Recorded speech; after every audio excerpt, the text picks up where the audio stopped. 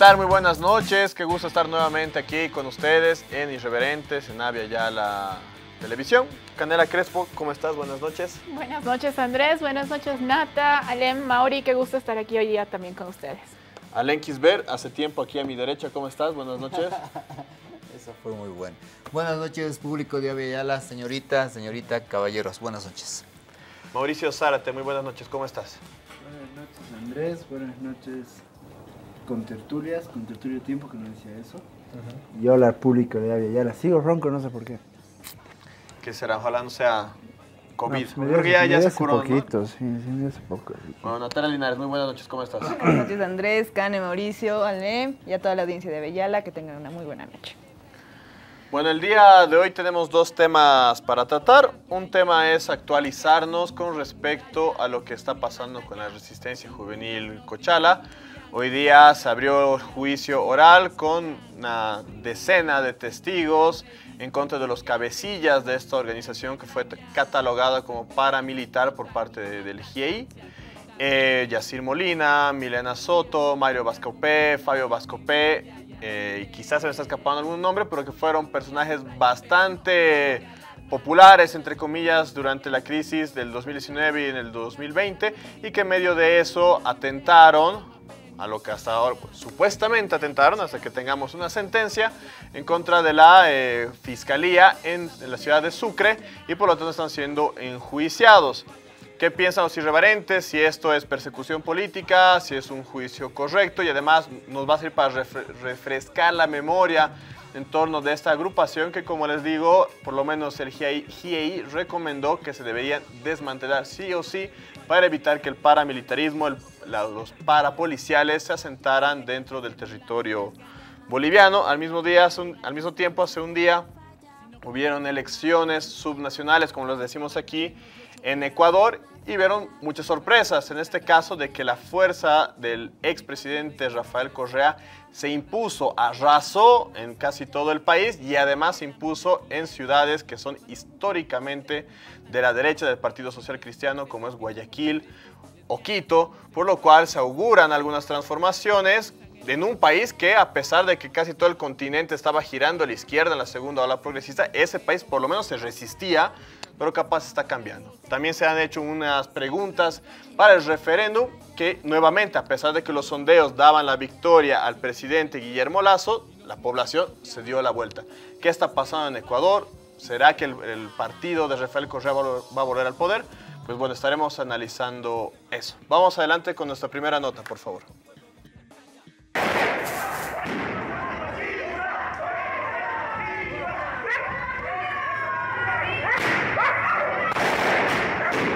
Al igual que mis compañeros, no hemos cometido ningún delito, ni uno solo. Todo se está llevando a cabo en mérito a imágenes, en mérito a declaraciones. Jamás hemos golpeado a ninguna mujer, jamás hemos hecho nada de los que nos están acusando. Todos son pruebas inventadas, testigos inventados. y no hemos hecho nada, solamente hemos, hemos defendido nuestra casa, que es Cochabamba. No hemos hecho daño a, ningún- a las personas.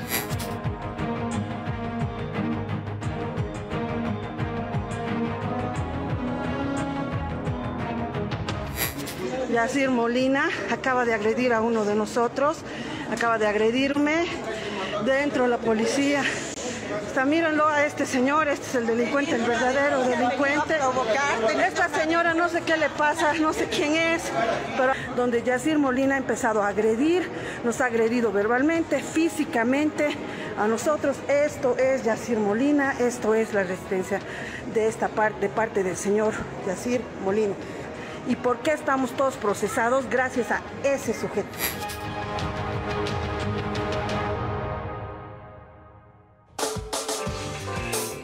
Y bueno, y escuchábamos algunas afirmaciones de los imputados que no agredieron a nadie, que no pasó nada. No sé, Canela, ¿tú cómo analizas esto?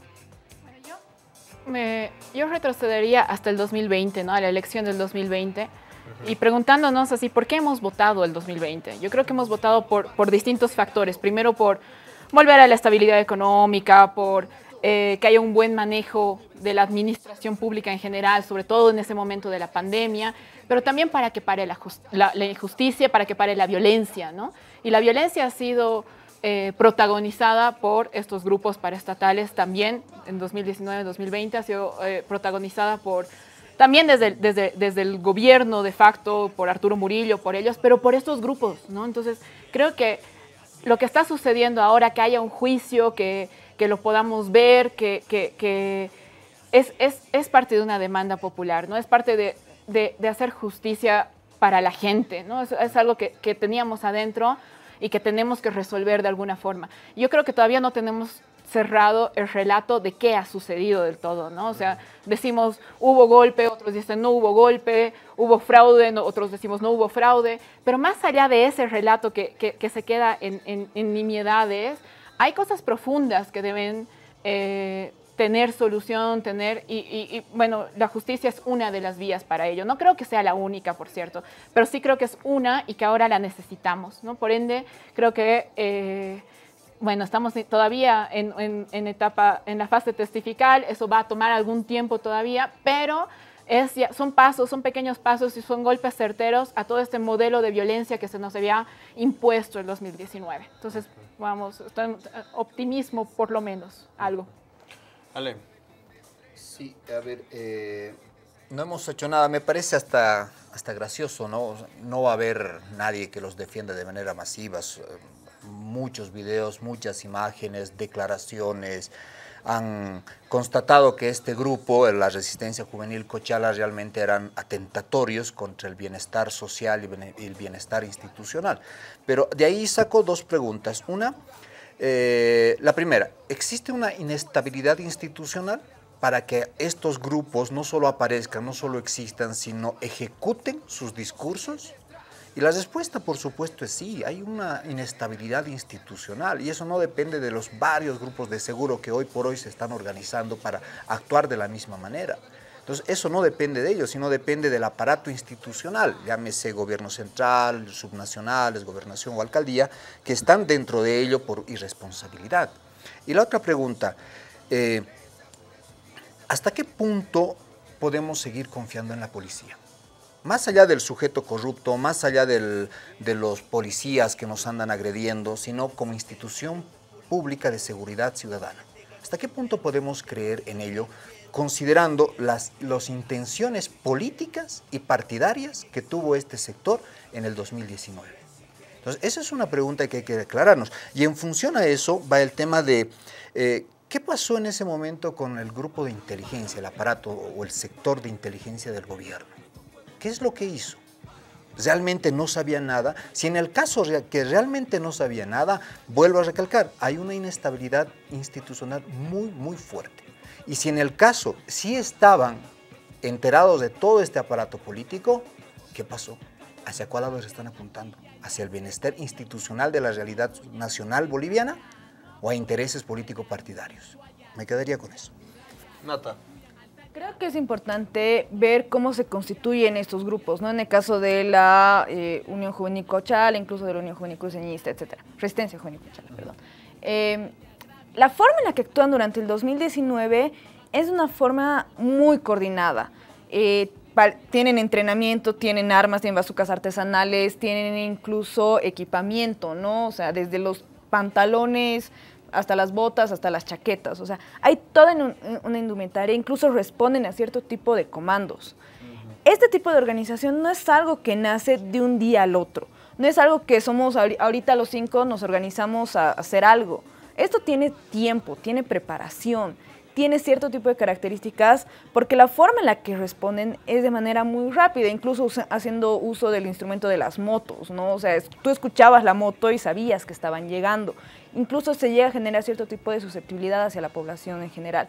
Entonces, creo que es ahí donde nos habla y nos dice que la conformación de estos grupos venía ya de tiempo atrás. Entonces es ahí donde podemos decir que se estaba teniendo toda la intención que después de las elecciones generales de ese año del 2019 haya un, estado de inestabilidad, hay un estado del terror donde estos grupos hacen gran parte, ¿no? Son el brazo armado no oficial de todos de todo este movimiento cívico, comiteísta, etcétera, donde van a actuar de manera muy eficiente, ¿no? Que básicamente era aterrorizar a la población. Entonces, cuando nos remontamos a, ese hecho que todos lo vimos, hay una, ciudad que es testigo de todo lo que sucedió. Mm, no, quiere decir que son testigos inventados, que no pasó nada. O sea, hay toda una ciudad que escuchaba la moto, creo que ya sabía que estaban llegando. Entonces, eso, me parece que nos da indicios de lo que sucedió el 2019 en el caso cuando tratamos de entablarlo como el go golpe de Estado. Igual recordar que Yacir Molina, el, el, cabecilla de estos, el año pasado dijo, voy a hablar. Mm y ya lanzó algunos nombres, ¿no? Eh, lanzó el nombre de Fernando Camacho, de Rómulo Calvo, de autoridades actuales de Cochabamba, de un concejal y del propio Manfred Reyes Villa. Entonces, dice, nos financiaron, porque claro, o sea, es, es ingenuo creer que toda esta indumentaria que ellos manejaban y toda esta logística que manejaban, la hicieron vendiendo sándwiches, o sea, no tiene sentido.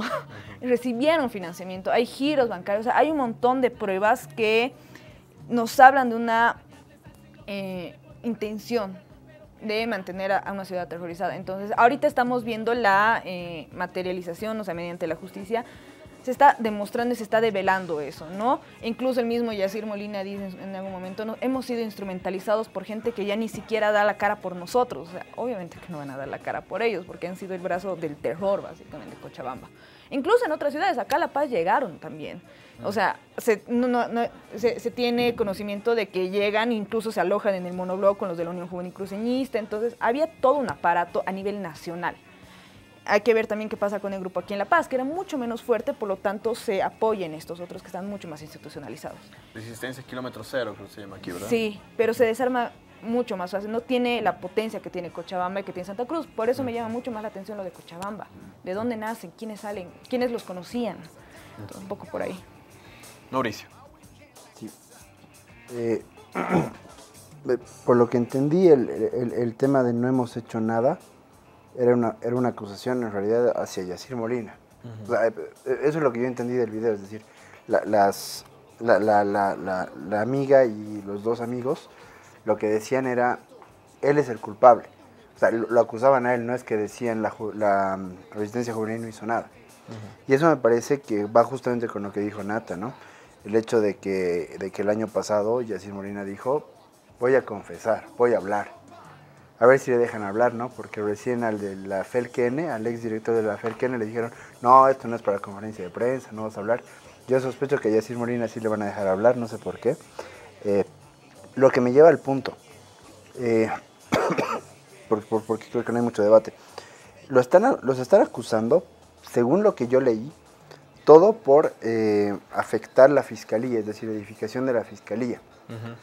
Que es grave, sí, por supuesto que sí es grave y, y, y, además puede llegar a ser muy peligroso. Pero a mí lo que me parece que sí fue grave que, que, que, que hizo la, la, la, resistencia juvenil fue el ataque a la alcaldesa de Vinto.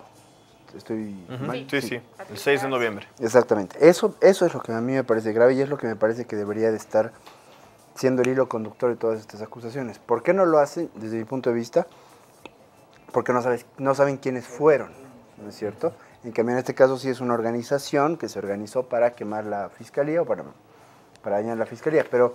Y mucha audiovisual, prueba audiovisual de ellos, ¿no? Claro, sí, sí, sí, pero, pero, pero, a, mí me, a mí me preocupa un poco el por qué no van al, a lo que a mí me parece más, más grave. No estoy diciendo que, que se quemen las fiscalías, pero me parece mucho más grave el ataque que sufrió la, la, la, la, señora me parece terrible. Eso fue, una, fue el brazo deslegitimador del 2019. Uh -huh. Fueron literalmente el aparato que se encargó de deslegitimar absolutamente todo.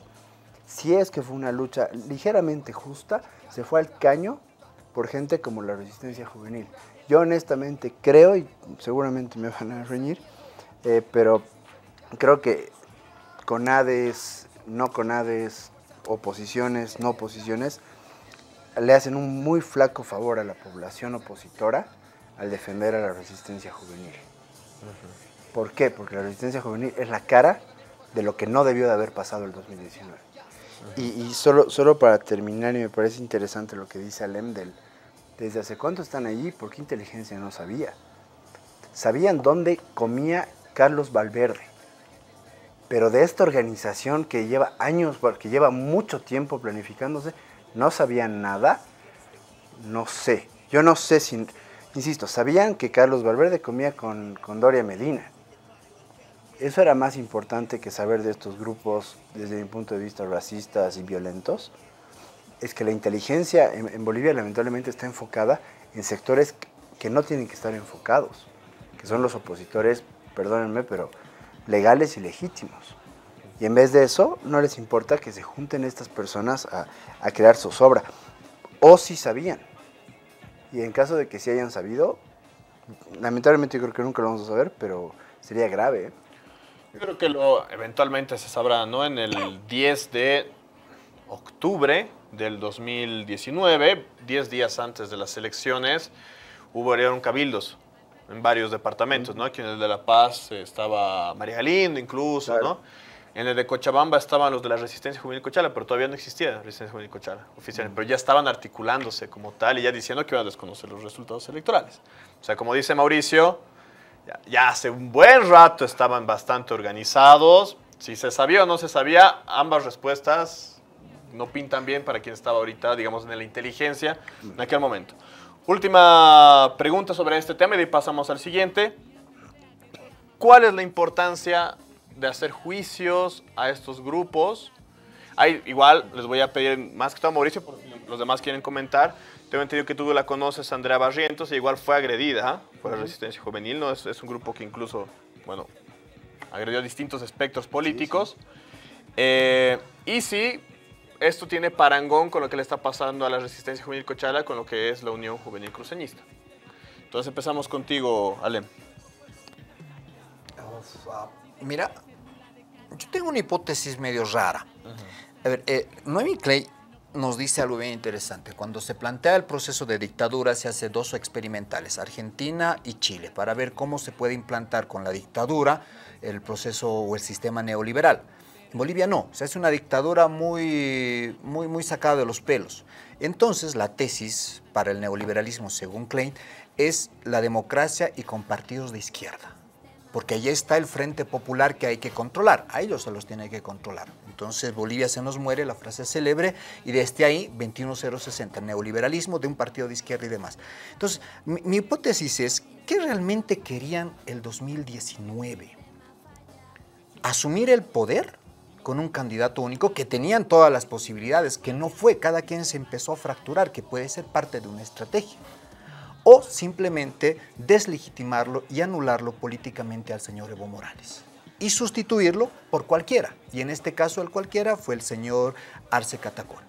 Entonces, el señor Arce Catacor es de izquierda, tiene un perfil altamente, eh, no burgués ni capitalista, voy a utilizar otro término, eh, más tecnócrata, y en función a eso, ¿cuáles van a ser sus nuevas miradas políticas? Ya a principios del, del- programa, hace un año un poco más, lo planteaba. El nuevo sistema neoliberal o el, o el crecimiento del sistema, del sistema de mercado capitalista y de explotación de materia prima va a venir a la cabeza del señor Catacora. Y es lo que está pasando.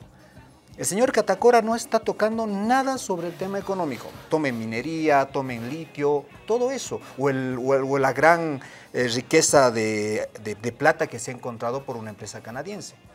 O las ausencias de oro que hay en el Estado, o los recursos internacionales, las reservas internacionales que ya poco a poco están mermando. Entonces, ¿cuál será la lógica? ¿De ese momento qué era? Entonces, la justicia puede tener una cortina de humo que lo planteaba el día de ayer el compañero Mauricio. Eh, eh, la justicia puede estar mostrándonos que estos chicos malos, que sí lo fueron, es el problema. Y hay que anularlos, lo que planteaba Canel en varias oportunidades. Hay que empezar a, desde la raíz, hay que empezar a desmantelar estas organizaciones. Y se lo está haciendo. Pero por otro lado, ¿cómo está funcionando el gobierno? ¿Se dan cuenta? Y eso a mí me parece el debate de fondo que deberíamos de hacer. Vamos a tener que hacer un pequeño paréntesis. Eh, está hablando ahora el viceministro de Autonomías, con entiendo, respectivamente, en la Casa del Pueblo, con respecto a las acciones que se están llevando a cabo en Santa Cruz con el tema de la pandemia. La, vemos, por favor, en pantalla. 24 viviendas, pero todavía con los hay las lluvias se han aumentado dos viviendas más. En Yanacachi han hablado de 30 viviendas, ¿no? Y hay algo muy importante, que el presidente ha hablado con los alcaldes, los alcaldes se han comprometido a que esas viviendas eh, o esas personas afectadas puedan...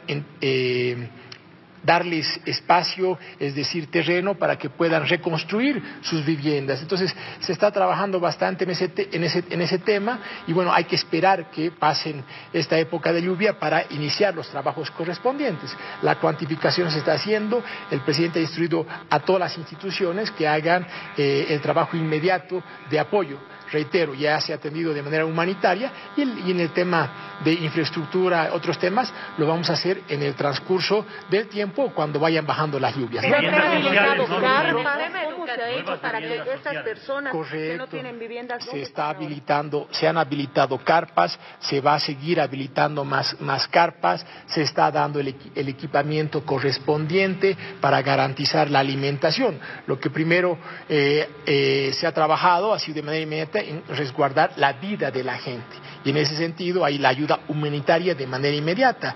Eh, hay algunos casos que han pasado el día sábado, por ejemplo, y ya el día de hoy ya se ha entregado la ayuda humanitaria en segunda oportunidad, ya se ha hecho anteriormente. Entonces, eh, la reacción inmediata de nuestro gobierno es para atender eh, a los municipios. También pedimos que las instituciones como la gobernación, se pueda sumar, porque también cuando hay un desastre no solamente es del gobierno nacional, sino también de las, de las gobernaciones. Y esperamos que eso pase en el departamento de Santa Cruz y esperamos que también pase en el departamento de La Paz o en cualquier lugar donde eh, ocurran estas situaciones. ¿Hasta el momento se ha podido coordinar con estas instancias subnacionales que usted indica, viceministro? La coordinación, yo siento que los alcaldes han acudido de manera inmediata al gobierno nacional, han tenido respuesta, eh, lo manifestaron estaba nuestro alcalde de, Guanay que hasta que eh, las gobernaciones pidan más informes, pues va a pasar mucho tiempo. Sin embargo, han tenido la respuesta inmediata de nuestro gobierno nacional. Por eso es que instamos a que los gobiernos departamentales también coayuven en, en esta situación. Es muy importante la complementación de su esfuerzo. Los desastres naturales generan grandes pérdidas y es importante sumar esfuerzos. Sin embargo, el gobierno nacional no ha esperado que las gobernaciones nos toquen, solo a la llamada de los gobiernos municipales ya se ha atendido de manera inmediata. ¿En qué consiste más eh, esta ayuda que va a llegar hasta estos municipios y cuánto va a ser? Eh, Mire, eh, se, están, se siguen cuantificando daños, sin embargo, la primera acción ha sido coordinar con el Ministerio, con el Viceministerio de Defensa Civil para entregar la ayuda humanitaria, vituallas, alimentos. Se ha podido coordinar, coordinar con algunos otros viceministerios. Por ejemplo, han habido afectaciones a servicios básicos de, agua potable. También se está coordinando para que ese, se restituya estos servicios y luego se va a hacer ya la cuantificación final para poder establecer dónde se va a iniciar las construcciones correspondientes, ¿no? Porque, como decía nuestro alcalde de Mapiri que la cuantificación era hace unos dos días 17 casas, pero hoy se ha establecido que ya son 24. Entonces eso puede seguir, puede seguir afectándonos y por eso estamos esperando que pasen eh, este momento de lluvias priorizando el resguardo de la vida de la gente para luego iniciar la reconstrucción correspondiente. No le vamos a ceder a... Y bueno, mil disculpas, eh, la, conferencia no era con respecto al tema de la pandemia que hay también en Santa Cruz, sino a las inundaciones que ya han afectado a más de 5 mil personas en 12 municipios de Santa Cruz. Continuamos que, contigo, Canela. En su primera intervención, Alem decía que no es verdad, eh, que nadie los va a defender, ¿no? A, la resistencia juvenil coschala nadie las va a defender. Y pareciera que aquí en la mesa estaríamos de acuerdo con eso, ¿no? O sea, nadie ha salido en su defensa, ni mucho menos, pero eso no es, no es real para las oposiciones en este momento, ¿no? ¿no? No, nos olvidemos que tanto Yacir Molina como Milena Soto, como los hermanos Vascopé están en, la lista, en las listas de, entre comillas, perseguidos políticos de absolutamente todos los que manejan este discurso, ¿no? Sea Amparo Carvajal, sea eh, Carlos Mesa, los cabildos, quien sea, está manejando este discurso de que hay perseguidos políticos y estos, estos personajes que aquí en esta mesa nadie se ha atrevido a defender, están en esas listas, ¿no? Entonces sí hay una defensa ahí, ¿no? O sea, no es verdad eso de que nadie los está saliendo a defender. Eh, yo creo que además están instrumentalizando esa causa para promover esta reforma judicial. Y está bien, podemos estar de acuerdo con la necesidad de que haya una reforma judicial. Y sin embargo, lo que nos tenemos que cuestionar es bajo qué términos, ¿no? O sea, ¿quién, nos toca sí interpelar al gobierno y decir necesitamos esa reforma judicial, queremos esa reforma judicial. Hemos votado incluso muchos de nosotros pensando en esa reforma judicial, pero eh, sin que sea excluyente, tiene que responder a los términos de la gente que, eh, que, se ve todos los días atentada en sus derechos por el sistema judicial. ¿no? Y yo, por ende, yo le aumentaría a la, a la, a la frase de Dalem, no es verdad que nadie los va a salir a defender, pero es verdad que nadie medianamente sensato los va a salir a defender. Hasta ahí. ¿Cómo se llama el, ¿Cómo se llamaba este señor intelectual? Alejandro Almaraz.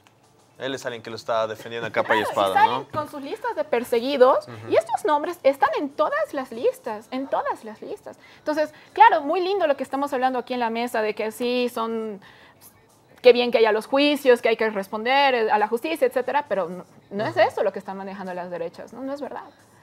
Mauricio. Sí, mira, yéndome a un punto de cómo yo analizo este grupo opositor, y alguna vez lo hablé con gente de comunidad ciudadana, pero, pero ellos, honestamente no, me dijeron específicamente este grupo, pero sí, sí, sí lo dejaron yo creo que sí lo dejaron en claro. Son ese grupo opositor que a mí me parece bien peligroso, que es el que te dice, no, no está bien que tú debatas con el movimiento socialismo, no, no está bien que tú partes con ellos, no, no está bien que ustedes elijan, si ustedes, si se elige un defensor del pueblo, ah, es porque has pactado con el MAS. Y eres, y eres, y eres cómplice del, del... No, no, esas no son las salidas. Y cuando uno les pregunta, ¿y cuáles son las salidas? No te responden. Yo creo que la respuesta la tienen, pero no te la van a decir. Y esas respuestas son mm. las de la Unión. Y ojo, ¿eh? Tienen su espejo en el movimiento al socialismo. El espejo del movimiento al socialismo es el que le evitó, evitó que Iván Arias, pero Iván, Iván Lima, haga la reforma judicial con gente tan proba, pero tan proba como Carlos Alberto Goitia, José Antonio Rivera, el doctor Guayar, el mismo espejo. La gente que te dice, no, tú no puedes negociar con ellos. No es un espejo ese. Perdón, o sea, la gente del movimiento socialismo ahí decía, tienes que hacerlo con la gente, señor ministro. Hay mucha gente, hay mucha gente No puedes elegir 10 personas. Yo, yo creo que tú, tú, vas a saber más que yo, pero eh, eh, sobre todo en este caso, pero hay mucha gente del movimiento socialismo que asegura que el que pacte con, con la oposición es un traidor. ¿O no? No hay nadie en el movimiento socialismo que diga... seguramente sí. Bueno, ese, ese espejo. tal, vez, tal vez, tal vez no. Perfecto. Tal vez no es un buen ejemplo el de la reforma judicial. Que, que, insisto, con el movimiento del socialismo no, a ver, por favor, vayan a Pero no es una cuestión de personas, pues Mauricio, es una cuestión de causas. Tienes razón, es una cuestión de causas. ¿Quién va a decir que el doctor Guayar o el doctor José Antonio Rivera tienen un interés malo para Bolivia? O que el doctor Carlos Alberto Goitia. O incluso, tal vez Carlos el doctor Alberto Goitia, con todo lo que yo lo estimo personalmente, porque era el papá de una amiga, era candidato del tuto, sí, y tenía derecho. Tiene todo un proyecto político detrás. Y tiene todo el derecho del mundo de serlo. No es que, ay, sí, sus buenas intenciones lo van a salvar. Pero tiene todo el derecho del mundo. Detrás. Pero está bien y no puedes poner 10 personas con ese mismo proyecto detrás a hacerte una reforma judicial. Está y es eso lo que la gente pero, más pero está muy bien, ministro de Justicia Pero está muy bien que tenga y él un proyecto. reconocido y dicho, no puedes tener un proyecto político la gente no puede tener un la gente pero no que quiera hacer una, una reforma gente, de justicia ya, pero la gente solamente que quiere, con gente de ese la gente político. que quiere estamos de acuerdo la gente eso, que quiere una reforma judicial no puede tener un proyecto no, político aparte. He dicho no excluyente la reforma judicial ah bueno dicho, perfecto no excluyente pero no puedes hacer una era reforma judicial con 10 personas perfecto. que tienen ese proyecto era político que, era detrás. que incluyan más personas. excluyendo justamente yo no sé si el doctor Guayar haya estado justo con esas personas. Yo no sé si el doctor José Antonio Rivera haya estado justo con esas personas. Y sí. No estuvo con esas personas para la reforma judicial el, doctor José Antonio Rivera, yo creo que no, tutista no, fue muy es. claro el ministro de Lima cuando, el dijo, doctor cuando Guayar, se disculpó yo creo que con la gente, con las no organizaciones, y dijo, no voy a hacer una reforma solamente con 10 personas. Solamente, pero tiene que incluirlos, porque la reforma es de todos los claro bolivianos. Sí. No es solamente de un sector que y quiere no es de los que, que quiere que hacer se las libere. firmas en los cabildos, de, no, definitivamente. No solamente reforma de judicial, ellos. sí, pero no con ellos. No solamente de no, ellos. En sus parámetros. Yo no creo que, yo Eso creo que no solamente de ellos. Para, para terminar esta intervención respecto al tema de qué se gana, no, pero está bien. Es, es parte del programa, de eso se trata parte de ¿cuál, cuál es mi lógica respecto al qué se gana. Yo estoy más o menos de acuerdo con Alem en el sentido de que es llevar a juicio a gente que muy poca gente va a defender. No digo nadie, pero muy poca gente va a decir está mal que los, que los pongan presos. ¿Cuál es el problema? Que va a ser la misma justicia que, lo, que, que le arruinó la vida a Jerry Fernández por el caso Bebé Alexander, y estoy hablando del señor Guerrero, ¿y qué hizo el movimiento del socialismo? Lo premió, primero con consulado en Chile y ahora de viceministro. Eso es lo que quiere la reforma judicial evitar, que dejen de castigar a los bolivianos. Mientras no haya reforma judicial, estos juicios pueden ser buenos o malos, justos no van a ser. Natalia. Eh, dos cosas chiquititas. Primero, eh, esta comparación que hacías con la Unión Juvenil Cruceñista y de la resistencia, ¿no? La Unión Juvenil Cruceñista tiene una institucionalidad muy antigua, ¿no? O sea, es un grupo paramilitar que viene de la época de los 70, participa dentro de las dictaduras y se va transformando a lo largo de los años y es hoy lo que conocemos. La resistencia juvenil cuchala no tiene esa trayectoria, no tiene como que esas bases tan sólidas. Es por eso que vemos a un Yacir Molina decir voy a hablar, voy a cantar todo, porque se da cuenta que ya no tiene nada que perder, porque no tiene una institución que lo respalde, no tiene poder económico que lo respalde. Por eso vemos también a sus compañeros, dicen yo no fui, fue él. Entonces creo que esa es la diferencia y por qué también mucha gente está abandonando a los de la resistencia juvenil cuchala. Porque al contrario con los de la Unión Juvenil, eh, la gente los sigue apoyando, o sea, su, el comité sigue abogando por ellos, sigue saliendo diciendo estos no hicieron nada, pobres jóvenes, inocentes. Sin embargo, a los de la resistencia los dejaron solos. Incluso me parece muy divertido que hoy ya nadie, muy pocos levanten las manos por ellos. Les hicieron un reconocimiento en la plaza de Calacala, si no estoy mal. O sea, hay una placa con sus nombres. El 4 de noviembre y ellos la destruyeron porque están todos sus nombres, ¿no? Exacto, o sea, justamente, o sea... alguien tiene que tener esa foto, porque ahí tienes a todos los integrantes de eso. Sí. Entonces, claro, en algún momento fueron los héroes de Cochabamba y hoy día son los nadies porque se dan cuenta que este cuate Yacir Molina sabe mucho. Entonces hoy ya, ya, ya, no les conviene, lo van a tratar de anular y lo van a tratar de acallar. Eso no nos pasa. Sí, yo solamente añadiría que yo creo que justamente esa institucionalidad que tú mencionas del comité cívico es la que emigró a Cochabamba y consolidó la resistencia juvenil Cochala, ¿no? Las mismas formas, las mismas estrategias, pero bueno, como dices, no había una institución posterior que los sostenga, ¿no? Y ahora están abandonados. Tenemos unos cuantos mensajes, los leemos, por favor. Buenas noches, irreverentes. Que se haga justicia de una vez, que les den un escarmiento para que no vuelvan a ocurrir otro golpe y maltratar a la gente. Yo me pregunto por qué no desbaratar a los de la juvenil cruceñista, que la, que misma Organismo Internacional de Derechos Humanos dijo. Muchas gracias, atentamente, Carlos Sobando. Muchas gracias, Carlos. Y es verdad, el informe de GIEI dijo que tanto la Unión Juvenil Cruceñista como la Resistencia Juvenil Cochala son grupos paramilitares. Y no es la primera vez, ojo que en el 2008 también se habló de ese carácter de la Unión Juvenil Cruceñista. ¿Tenemos algún mensaje? Listo. Buenas noches, comparto el pensar de Natalia que la RJC actuaba de manera coordinada y todo lo ilícito es así. O alguien me dirá que el narcotráfico no actúa coordinadamente y eso viene desde antes porque ningún candidato puede entrar al Chapare en época electoral. Todo es planificado con anticipación, no nos hagamos a los ciegos, por favor. Saludos, Wilson. Gracias, Wilson, por tu mensaje. Buenas noches, irreverentes. Respecto al juicio contra los líderes de la RJC, debe ser totalmente imparcial y si resultan culpables tienen que pagar, no importa quiénes sean. Pero eso no pasa cuando la justicia tiene que investigar el bando de allegados al gobierno. La justicia boliviana se quita la venda para los que son amigos del Estado. Gracias por su mensaje. ¿Cómo están? Buenas noches. Es triste la situación peruana, pero cabe la pena preguntarse si en Bolivia no hubiera ganado el MAS en 2005, Bolivia hubiera estado en la misma situación que el Perú, con un grupo político haciendo y deshaciendo sin solucionar las reivindicaciones de sectores sociales excluidos. Gracias por su mensaje. Bueno, podría decir, para ilvanar con el tema de hoy, que también hay un grupo muy similar a la Resistencia Juvenil Cochala, ahorita en el Perú, también resistiendo a las movilizaciones populares. ¿Cómo están? Buenas noches. Los medios de comunicación fueron cómplices de estos grupos paramilitares, les daban espacio y legitimaban el miedo del cual estos grupos eran los únicos defensores. Muchos medios alimentaban su accionar de forma pasiva, pero funcionales a sus propósitos. Muchas gracias por su mensaje. Y eso sería.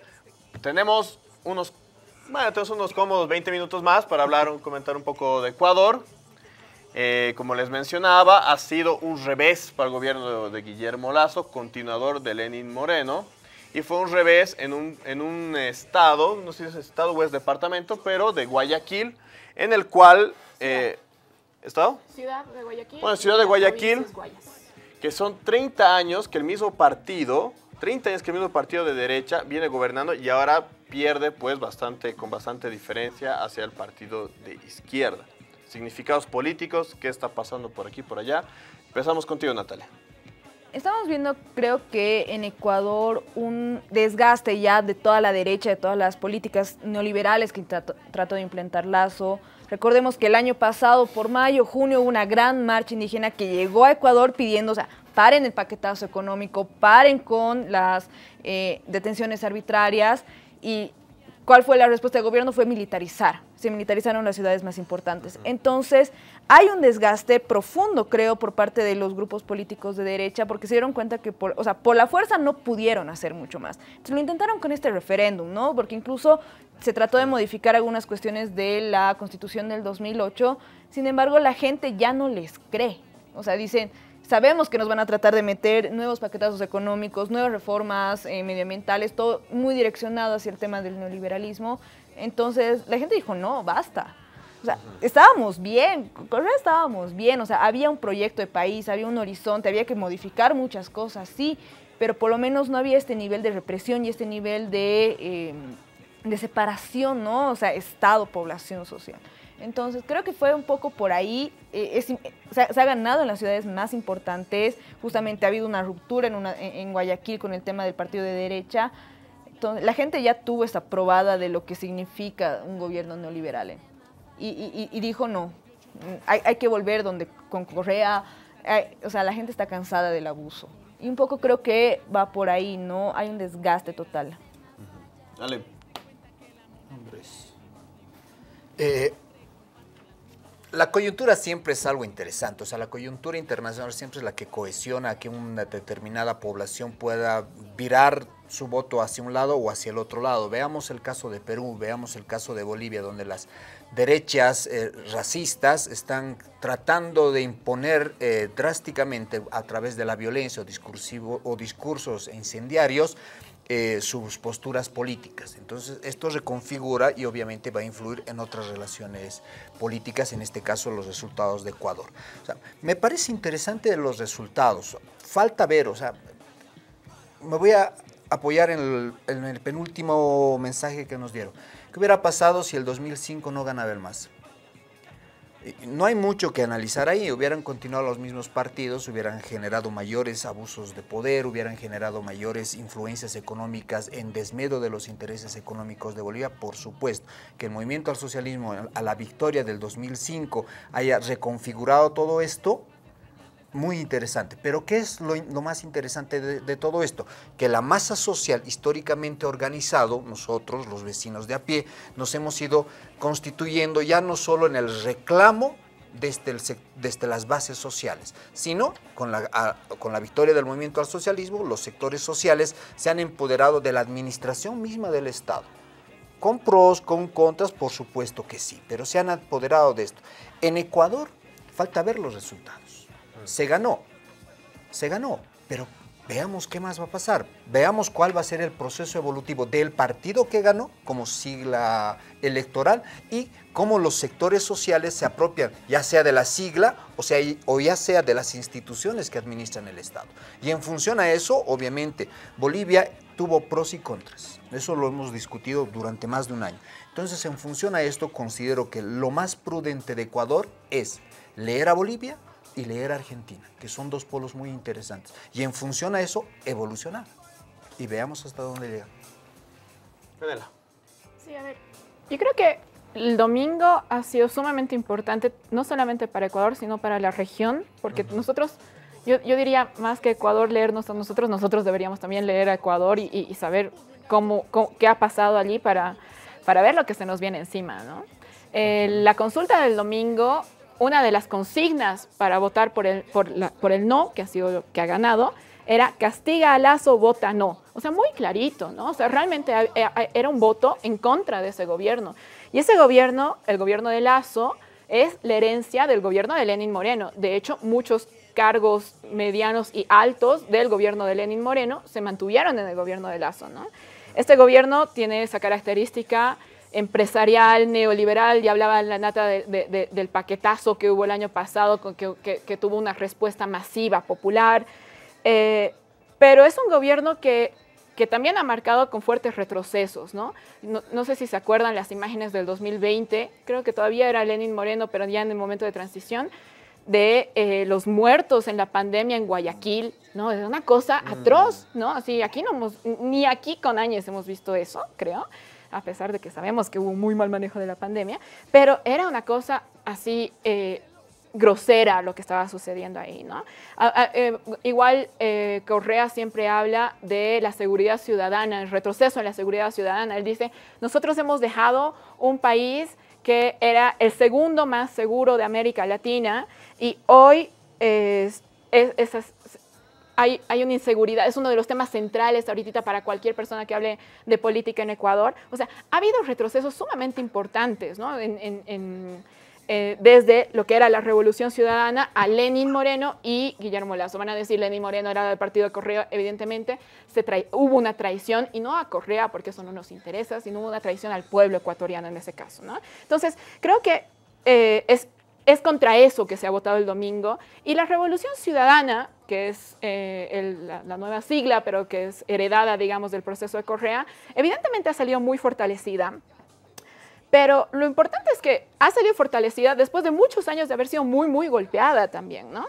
Eh, yo creo que, y es aquí que hago el énfasis, porque creo que es esto lo que nosotros y nosotras debemos leer como bolivianos, que es que el proceso de la revolución ciudadana se ha visto no solamente entibiado durante el gobierno de, los últimos años del gobierno de Correa, sino que ha sido golpeado por ONGs, los medios de comunicación, incluso una formación de partidos que ahora se llaman Pachacutic, por ejemplo, que es primariamente antipopular en sus medidas, pero se agarra de banderas populares para mostrarse, ¿no? Uno de, los, de, las caras de esto era Yacu Pérez, ¿no? Yacu Pérez eh, un, candidato que sea, eh, que, sea de las últimas elecciones presidenciales, que tenía todas estas características, que aquí las conocemos muy bien, de lo indígena, el medio ambiente, o sea, banderas que son populares inicialmente, pero despolitizadas, que iban en contra de, las medidas, digamos, económicas de la revolución ciudadana, que los había puesto en un buen lugar. Entonces, creo que es eso en realidad lo que ahora nos deberíamos eh, cuestionar, cómo están nuestros procesos, cuáles son las, las, caras del entibiamiento, las caras de, eh, de, estas traiciones como la de Lenin Moreno, etcétera, etcétera, etcétera, ¿no? Las tendencias políticas, pues. Sí. Mauricio. Mira, yo, yo, veo el caso de Ecuador desde la perspectiva bien boliviana y desde la perspectiva que trata de ir más allá de Bolivia. Desde la perspectiva bien, bien boliviana, en Bolivia el MAS perdió la alcaldía del Alto, la alcaldía de Santa Cruz, la alcaldía de La Paz la alcaldía de Cochabamba. ¿Dejó de ser el partido hegemónico? No. Dejó de ser eh, tal vez el único partido político que existe, eh, no es partido, pero digamos que sí ya, como partido político al menos, no, sigue siendo el único. Pero perdió las cuatro ciudades más importantes del país. Y, también Tarija, si no me equivoco, que yo, yo, la pondría como la quinta. Entonces, pero se habló de, ah, es que el MAS va a caer ahora porque se ha demostrado que... No, era un tema bastante diferente. Yo creo que esta vez no es tan diferente. ¿Por qué? Porque justamente quien ha perdido, perdón, quien ha ganado, tiene una institución. Y ahí es donde me, me iría al tema menos boliviano. Hay, en la medida en la que Ecuador siga con ese error del caudillismo, no, es que Correa, uy, no, Correa, no, es que Correa, no, es que gracias a Correa, no, viva Correa, no, sin Correa, Ecuador no, no, no hubiera ganado partidos en eliminatoria. En la medida que Ecuador entienda que tiene que abandonar ese caudillismo que le ha hecho tanto daño al movimiento al socialismo, tanto daño al PT, tanto daño, tanto daño a Argentina, no me atrevo a decir ni siquiera al partido de la señora en la medida que no abandonen este caudillismo, yo creo que no sirve de nada esta victoria. Yo honestamente creo que pueden llegar a abandonarlo. ¿Por qué? Porque muchos de los, de los análisis que, de los pocos análisis que vi de Ecuador eran ganó el partido, ganó la institución, ganó este algo. Pero eso es bueno. Y eran otras voces, claro, y eran otras voces las que decían, no, ganó, ganó, ganó Correa. Viva Correa, no, Correa. Nadie Y- y dice había eso, gente- porque son no. muy fuertes los candidatos que han ganado. Claro, exacto. Pavel Muñoz, Y ese es un Paola, punto, y ese es un punto, y ese es un punto genial. Tremendos cuadros. Por eso creo que ahí hay una diferencia muy grande. En la medida en la que se abandone el caudillismo, no van a caer en el error que llegó a cometer el movimiento del socialismo, el PT y lamentablemente Argentina que está sufriendo lo que está sufriendo. Y, y solo para terminar, porque si no lo digo me voy a arrepentir toda mi vida. Eh, hay, habían muchas gráficas que eran, ah, miren, ahora sí vamos a pintar todo de rojo y todos los, todos los países de Latinoamérica van a estar pintados de... Ojo con Chile. Boric no sé si, si su partido, si la izquierda va a volver a, a la presidencia. Ojo con Argentina. No sé si Argentina va. Entonces no, yo no lo vería con tanto triunfalismo. Tal vez, lo de siempre, tal vez convenga, pero no, no lo haría. Pero sería eso o Milei, ¿no? O Macri, o Bullrich. Ahí tú prefieres a Bullrich y a Macri que a... Que, que- Que a- que a- por favor, que a, que a De los, verdad, que a los- Bullrich. que a los Fernández. fo.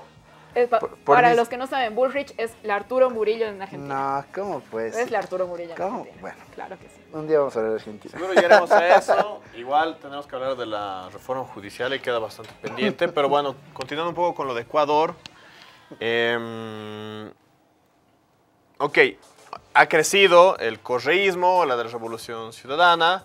Yo coincido en que han, han- se han mostrado nuevos cuadros. A mi tocayo Andrés Arauz en las anteriores elecciones le fue bastante bien. Le fue bastante bien. No le alcanzó, pero un candidato nuevo, joven, etcétera. Eh, pero ahora mi pregunta es, ¿por qué se da este crecimiento tan explosivo y por qué tanto castigo a Guillermo Lazo? Aquí ya se dijo un poquito, es neoliberal, no sé qué, no sé cuál, pero bueno, profundicemos un poquito al respecto.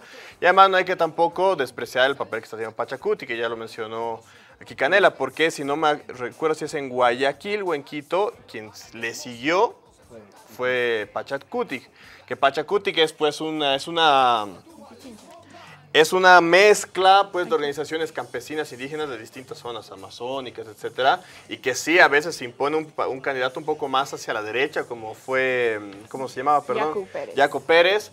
Pero también tienes a, a Leónidas Sisa, que está a la izquierda, que también está ahí dentro de Pachacuti, No. ¿no? O bueno, o estaba por lo menos. Claro, estaba O él. Issa es de la CONAIE, ¿no? que es la Confederación Nacional uy, eh, de los Pueblos Indígenas, digamos, del Ecuador. Ajá. O sea, es de la parte orga- de las Por eso, organizaciones por eso no sociales. es un partido, su partido era el Pachacuti. Fue en algún momento, pero realmente también marcó diferencia e incluso luego también, eh, ya ahora tiene alianzas con la Revolución Ciudadana. Claro, pero en las primarias, sí, por supuesto, pero en las primarias contra Yacu Pérez, uno era Leonidas Sisa. También, y junto al otro líder que también estaba aquí cuando llegó Evo No, Morales. eran Leónidas. Issa tenía que ser el candidato de, de la- de Alianza Pachac- País en vez de Andrés Arauz, ¿no? El tenía que ser. Pachacuti. No, no, no, él tenía que ser. La gente había consensuado eso y hubo un error ahí de, la, de parte de, de- yo creo que también de Correa, y hay que decirlo, ¿no? De, de ponerlo a Andrés Arauz en vez de, de a Leonidas Issa. Bueno, entonces ahí, ahí va que la pregunta sobre respecto a Pachacuti. Si se cree que Pachacuti que es así de derecha, pues bueno, entonces hay una nueva derecha que capaz estaría surgiendo, o yo me tiro más por esta hipótesis de que también la izquierda en, en Ecuador está dividida, como se ve en la anterior elección, en la cual el voto de Andrés Arauz fue reducido también por Pachacuti, ¿no? Pero bueno, ahí van las preguntas. ¿Qué pasa con Guillermo Lazo? ¿Y qué pasa, por qué ahora está despegando Revolución Ciudadana y qué pasa con Pachacuti? Empecemos contigo, Canela, y aquí ya estabas tomando la palabra. Bueno, ya, ya hemos hablado de la, de, la, de la característica del gobierno empresarial neoliberal, pero también hay otros elementos, ¿no? Por ejemplo, esta elección también se ha visto marcada por la violencia, ¿no? Estamos viendo que esto sucede en todo el continente, en realidad. Eh, justo el día de la elección o, o- o en la madrugada, unas horas antes, uno de los candidatos muy fuertes, además simbólicos de la provincia de Manabí para una de las alcaldías, eh, fue asesinado, ¿no? Eh, se llama Omar Menéndez. Y claro, ya, ya hemos, estamos viendo esto casi como un libreto, ¿no? O sea, hemos visto que a Francia Márquez, la vicepresidenta en Colombia, la siguen, eh, la siguen amenazando de muerte. Hace unos meses han disparado a la cabeza de Cristina Fernández. O sea, hay, hay una tendencia a la violencia que también ha sido eh, castigada, creo, el domingo, ¿no? Y, y- eso, eso es un mensaje de la gente y eso me parece sumamente importante y profundo. Y creo que si bien hemos llegado a este punto de violencia aquí en Bolivia, eh, sí, o, o bueno, sí hemos llegado con la resistencia juvenil Cochala, etcétera, o sea, eso, eso no está, en discusión, pero eh, en, Ecuador han mandado el mensaje muy claro el domingo, ¿no? O sea, también se ha castigado eso. Ahora sobre lo otro, yo no creo que Pachacutic sea un movimiento de izquierdas, ¿no? O sea, yo creo que es un movimiento que ha tomado algunas banderas de lo popular, de lo que entendemos en el imaginario colectivo como popular, lo popular, en el caso de Ecuador y también nos sucede aquí en Bolivia, lo indígena, por ejemplo, lo mismo en Perú, en, esta región andina, eh, han tomado esas banderas, pero las han despolitizado, las han entibiado. Y ha sido un proceso de muchos años, en realidad, y con mucho financiamiento también. Si bien aquí en Bolivia financiaban a la resistencia juvenil de Cochala, pues en Ecuador estaban financiando movimientos desde ONGs, desde, desde los, incluso con apoyo de medios de comunicación, etcétera, estaban financiando este entibiamiento discursivo de muchas cosas, ¿no? O sea, ¿cómo? Eh, enfrentarte a la revolución ciudadana, cómo enfrentarte a Alianza País, cómo enfrentarte a Correa también en este caso, fue em, no solamente atacándolo por la derecha, sino eh, agarrándote de sus banderas y rompiéndolas. ¿no? Entonces, creo que Pachacuti que en realidad representa eso, es lo que también dentro del propio movimiento de Revolución Ciudadana ha sido un golpe sumamente fuerte, ¿no? Porque los han, los han desarticulado con, con, con, con, lo orgánico en muchos casos, ¿no? Lo que decíamos, la CONAIE. La CONAIE ha sido protagonista de los últimos, de las últimas grandes movilizaciones en Ecuador y sin embargo tiene una distancia enorme con la revolución ciudadana. Y eso, y ahí estoy un cacho de acuerdo con, con, el Mauricio también, ¿no? O sea, también pasa por los errores propios, ¿no? Yo no sé si llego a decir el caudillismo de Correa, porque evidentemente Correa en los últimos dos años no está en Ecuador, ¿no? O sea, no estuvo en Ecuador en, los, no solamente en los últimos dos años. Y su figura sigue siendo sumamente importante, no solamente en Ecuador, sino para nosotros también. Pero eh, sí creo que los errores internos más todo este proceso de desestabilización dentro de la revolución ciudadana ha generado, ha parido prácticamente a Pachacutic. ¿no? Entonces, creo que nos puede pasar aquí también. Y eso es, y eso es algo que tenemos que también saber adelantar y, agarrar fuerte las banderas, pero no significa agarrarlas por agarrarlas para ganar elecciones, ¿no? Y esa es otra cosa, sino agarrarlas y darles contenido y formarlas y hacer de esas banderas agenda. Ya, a ver, eh, eh, es, bien interesante, che, mira, haciendo igual otra observación un poquito rara. Eh, hay dos cosas que estoy muy seguro. Uno, hay una inestabilidad institucional o un proceso de desinstitucionalización para empezar. Siguiente, se está interpelando y cuestionando el concepto de democracia, más allá del proceso electoral, sino la forma de administrar el Estado desde lo que conocemos como el sistema democrático centralista. Eso se lo está cuestionando no solo en Bolivia, sino en otros países. Quiero partir la siguiente parte de la, del ciclo de conferencias que hubo, no estoy seguro, el año exacto fue entre el 2009 y el 2012, pensando el mundo desde Bolivia.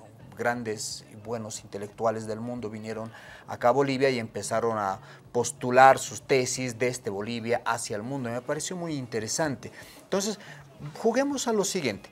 Eh, tenemos un Estado caduco, por más que el movimiento al socialismo lo esté administrando, sigue siendo la misma escuela desde la Constitución, desde 1952, me animaría a decir, que se repite y se reproduce hasta el siglo XXI, 2023. Entonces, esto sigue, se sigue manteniendo, pero hay un sector emergente, llamémosle indio, llamémoslo popular, llamémosle indígena, llamémoslo proletario, que ha administrado idealmente y prácticamente el Estado, lo que está empezando a suceder en Perú por lo menos en interpelación está pasando, lo que está pasando en Chile que ha sido una forma mucho más drástica. Entonces, estos sectores, los marginados o los nadies, como hace rato lo acaba de decir la compañera Natalia que me hizo recordar a Eduardo Galeano, estos nadies empiezan a administrar el Estado y desde ahí se empieza a generar una pugna desde una visión social conservadora, racista, blanca, como lo queramos calificar, y un sector emergente, lo popular indígena indio. Entonces, hay una pugna no resuelta. Creo que es importante empezar a repensar cuál es la solución a ello. Y eso me parece que es un proceso evolutivo del debate teórico que deberíamos tener los analistas y los políticos. ¿Cuál es el proceso evolutivo? Volver a lo que decía el compañero Javier el otro día, a un Estado colonial español que los de la Nación Camba o de los, el Comité Cívico eh, Pro Santa Cruz quiere retornar a lo español, a volver en barcos y todo lo demás o fusionar, pero obviamente en esa fusión ver cuáles son los intereses populares territoriales. Ahora, guste o no, guste o no, Bolivia Bolivia culturalmente se ha fusionado. Vamos a encontrar gente blanca de Sopocachi que tiene su equeco, que hace sus miluchadas, quema la mesa. Culturalmente, ¿a dónde corresponde? ¿A una sociedad blanca europea o a una sociedad andina? Y este mismo y este y otras formas de actividades culturales se reproducen en diferentes territorios de Bolivia. Entonces, el debate para mí y generar un proceso de evolución es reconstituir nuestro proceso teórico colonial y precolonial repensando en qué es la nueva Bolivia. Ahí me quedaría. Gracias, Alem. Y para finalizar, Natalia. Eh, así, cortito. El tema del lazo y entender un poco qué es lo que está pasando ahora es justamente porque el lazo viene muy debilitado ya hace, hace ya un buen rato, ¿no? O sea, recordemos que se le, se le estaba iniciando eh, juicios por fraude fiscal, eh, la gente ya no lo reconocía, creo que tiene el 12% de aprobación, un poco va por ahí. Sin embargo, el año pasado, cuando hubo toda esta protesta y esta gran marcha que convulsionó un poco Ecuador, eh, incluso se iniciaron los procesos de revocatorio, ¿no? ¿Quiénes fueron los que se opusieron al revocatorio? Justamente fue el partido indígena, fue, o sea, fue el Pachacuti. ellos dijeron, no, tranqui, no molesten. Entonces, ahí hay que ver justamente esta ruptura, porque mientras tenías a toda la CONAI organizada llegando a, a las ciudades, el partido estaba pactando en el Parlamento. Hay una desconexión total, o sea que yo creo que no hay, que dejar de ser muy esencialista y decir, no, es que son indígenas y se entienden porque son indígenas y ya, no pasa por ahí. Creo que la Canela muy bien decía, o sea, hay banderas y hay grupos que se las han apropiado y las han entibiado y las han desechado por último, ¿no? han visto más por sus intereses políticos. Y e, e, eso hay que mirarlo muy bien porque, o sea, e, son síntomas que se dan cuando tienes una sociedad que está muy eh, desgastada, creo, en un sentido eh, de, organización, ¿no? Cuando la organización se parte y se parte y se parte porque justamente tienes mucha interferencia. Hay que verlo ahí por cuidado y hay que ver esos antecedentes que son los que hoy día creo que se están haciendo visibles, ¿no? La salida de Lazo ha sido la institucional porque se da cuenta que por las armas ya no. O sea, el año pasado tuvimos creo que casi, casi 10 muertos. Eso fue terrible. Entonces, ¿y, quién estaba lanzando la voz por ellos? Era pues la CONAIE, los estudiantes, era la gente movilizada en ese sentido. Entonces, un poco, Ecuador no creo que nos está dando pistas un poco sobre lo que puede llegar a pasar aquí en Bolivia, porque por último son composiciones sociales muy parecidas, ¿no? Tenemos historias muy parecidas, ¿no? En tanto movimientos indígenas, en tanto eh, organización de partidos populares, organización de partidos ciudadanos, son composiciones interesantes. Entonces hay que ver porque nos van a dar unos indicios. Muchas gracias Natalia, gracias a todos ustedes, nos pasamos unos cinco minutitos, muchas gracias a todos, nos vemos mañana a esta misma hora.